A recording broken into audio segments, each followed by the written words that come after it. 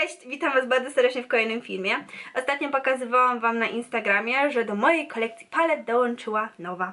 Jest to tym razem edycja limitowana i mam tutaj na myśli paletę od Anastazji, Prism e, i zadałam Wam pytanie poprzez ankietę, czy chcecie zobaczyć film właśnie z udziałem tej palety i większość z Was stwierdziła, że tak.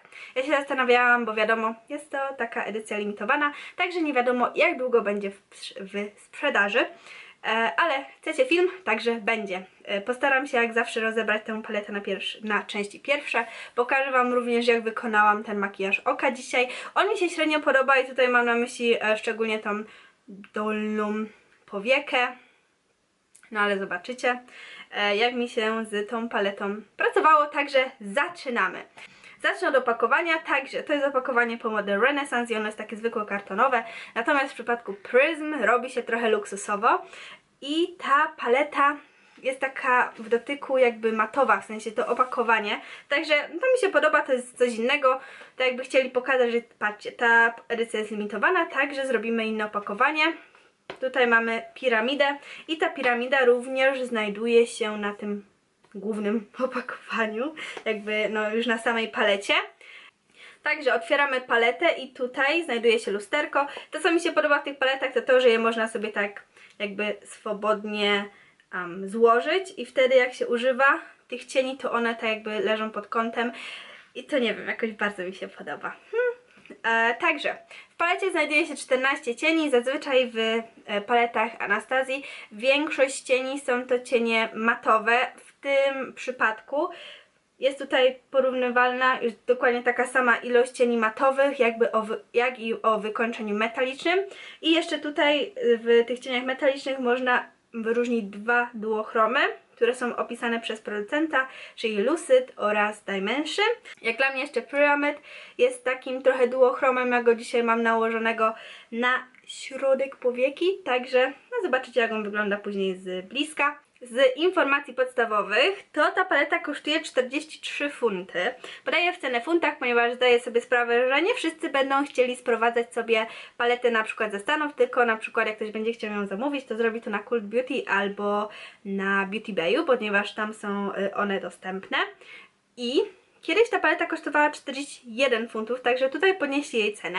Także cena za 1 gram um, cienia wynosi 21 zł. Kiedyś to było 20 zł z groszami, także no tutaj podnieśli cenę, e, ale czy podnieśli też jakość.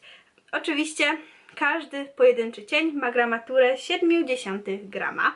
Jeżeli chodzi o same nazwy cieni, myślę, że ta, ta piramida na opakowaniu już dużo mówi, e, ponieważ nie wiem, Napiszcie mi w komentarzu, który cień najbardziej Wam się podoba, ponieważ ja jak otworzyłam tę paletę, pierwsze co mi się rzuciło w oczy to Fron. Ogólnie po raz pierwszy jak zobaczyłam tą paletę, to Fron. Nawet nie patrzyłam się tutaj na Sphere, tylko stwierdziłam, ja kupuję tę paletę tego zielonego cienia. Um, ale wracając do tych samych nazw. One tutaj znajdują odwołanie na przykład do kultury starożytnego Egiptu, czyli mamy Sphinx, Pyramid, Osiris, nawiązanie do kształtów, Sphere, Parallel, e, Lure, Eden, e, czyli na przykład Lure to jest coś takiego kuszącego jakby, e, Eden, no to wiadomo raj, także no paleta sama w sobie jest piękna. Czy jest to paleta taka, którą można działać samemu? Można, no ale um, są tutaj oczywiście kolory neutralne, jak na przykład Eden, Unity, Lure i są to przepiękne kolory, z których można sobie wyczarować taki niezbyt rzucający się w oczy makijaż dzienny, ale jak dla mnie, przez to, że ta paleta ma takie właśnie fajne kolory, z którymi można się pobawić, no dużo, e, daje to duże pole do popisu tak naprawdę. Myślę, że teraz będzie warto Wam pokazać słocze, które wykonałam. Oczywiście one nie są na żadnej bazie, tylko wykonywałam je palcem. Także tutaj jak słoczowałam te cienie, spodobało mi się to w jaki sposób wyglądają cienie matowe, ponieważ one naprawdę fajnie są napigmentowane. Natomiast tutaj w przypadku tych cieni metalicznych, no dwa dosyć słabo wypadły. Jest to Lucid oraz Osiris. Tak średnio również podobał mi się jak wyglądał odcień Pyramid, ponieważ e, jak go sobie zasłoczowałam, to później zobaczyłam, że w opakowaniu E, Ten cień jest dosyć taki jakby płatkowy, czyli on się rozdwarstwia i również bardzo podobną em, teksturę ma cień Eternal. E, I tutaj te cienie, one na oku wyglądają jak folie, szczególnie jak się je nałoży na mokro. Także em, te z Was, które na przykład mają tą folię od Makeup Revolution, to te cienie na mokro wyglądają dokładnie tak samo. Także o, są cudowne, ale nie ma co się oszukiwać. em, jednak no jak ktoś je tak słabo, umiejętnie nałoży, no to ten, po prostu te kawałki tego cienia mogą Wam trafić do oka i może być niefajnie. E, także teraz myślę, że zaproszę Was na ten mini tutorial, jak ja wykonałam dzisiaj ten look.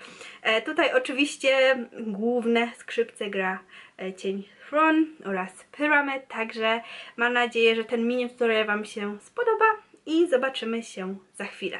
Także pierwszym cieniem, którego użyłam jest to cień z palety Modern Renaissance o nazwie Tempera. Jego użyłam do zmatowienia całego łuku brwiowego, jak i całej powieki, ponieważ wcześniej na nią nałożyłam korektor i chciałam, aby wszystko mi się trzymało. I później stwierdziłam, że zacznę z grubej rury i wzięłam odcień Sphere, czyli ten taki zielono-limonkowy odcień na puchaty pędzel i zaczęłam nim zaznaczać załamanie. Jeżeli chodzi o pigment, to naprawdę ten cień jest fajnie napigmentowany, nie za mocno oraz nie za słabo. E, fajnie się rozprowadza. Musiałam ten kolor zbudować do takiej pożądanej intensywności, jaka mi się podobała. I później tak w sumie nie wiedziałam co robiłam. Wzięłam cień Saturn na taki mniejszy kuleczkowaty pędzelek i zaczęłam nim zaznaczać sobie zewnętrzny kącik oraz załamanie.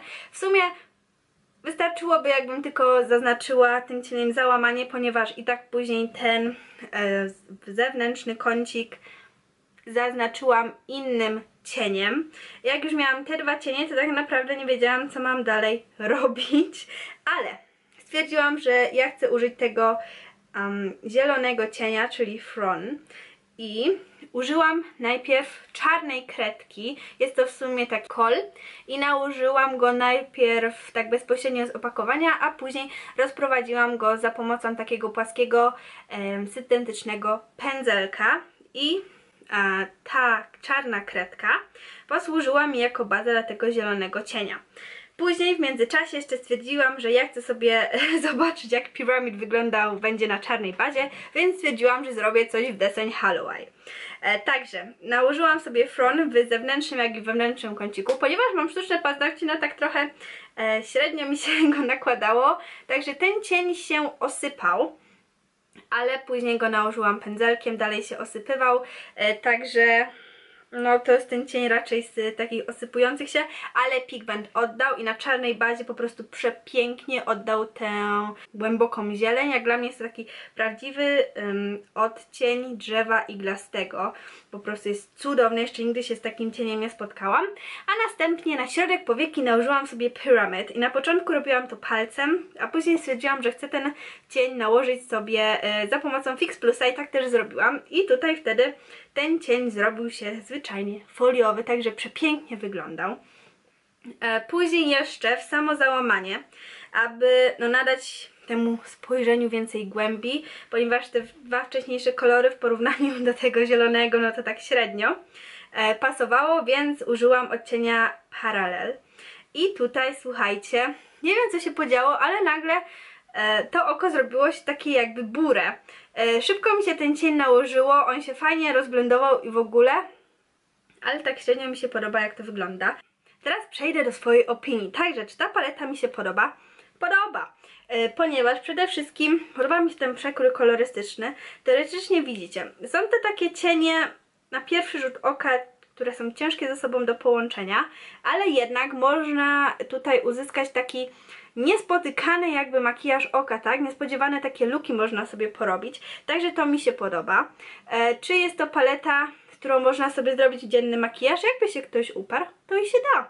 Te cztery sobie tutaj wykorzystać, Unity, Eden i a, Pyramid i naprawdę można sobie zrobić trochę bardziej intensywniejszy makijaż oka dzienny, ale będzie to dalej zachowanie kolorów neutralnych.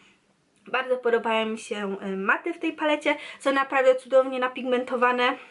Nawet wiecie jak em, zazwyczaj ma się do czynienia z takimi no, nowymi kolorami, to one mają taką średnią pigmentację, a tutaj naprawdę e, pigmentacja jest bardzo fajna. E, cienie, które średnio mi się podobają, to przede wszystkim jest Obsidian e, oraz Dimension oraz Osiris. Jeżeli chodzi o te dwa cienie, to one na powiece tak trochę wyglądają tak samo i na słoczach również. Także jeżeli chcielibyście na przykład użyć tych dwóch kolorów na czarnej bazie, no to one dla mnie będą wyglądały naprawdę bardzo podobnie, ponieważ one w sobie... Yy, zawierają takie różowe jakby refleksy, no i na czarnej bazie bardziej te refleksy będą się wybijać niż sam cień. E, Podoba mi się w tej palecie Fawn, mój ulubiony chyba kolor. E, Jeżeli chodzi o ten czarny kolor, tak, e, tutaj mi się tak średnio podoba to y, nie tyle co pigmentacja tego cienia, tylko on jest taki bardzo suchy, także tutaj już mi się zrobił, zrobiła mi się taka jakby warstwa ochronna, e, ale Podoba mi się, że ten czarny cień jest zawarty w tej palecie, ponieważ można na przykład nałożyć sobie czarną kredkę, przyklepać tym czarnym cieniem, a później nałożyć sobie te cienie metaliczne i zobaczyć jaki kolor wyjdzie. Także ta paleta jest przemyślana tak naprawdę, to nie są takie koloroczapy e, dobrane, aby po prostu były. To co mi się w tej palecie nie podoba.